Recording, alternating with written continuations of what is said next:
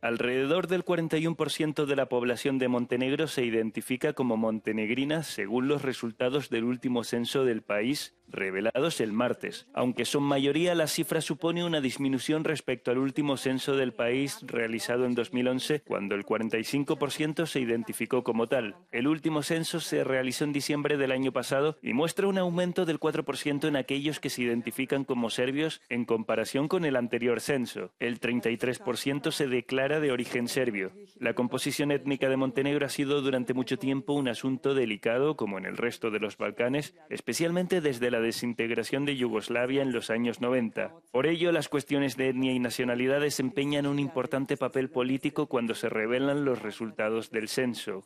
Montenegro se separó en 2006 de Serbia. El aumento de la población serbia en Montenegro podría influir tanto en la política proserbia del país como en la de los nacionalistas montenegrinos.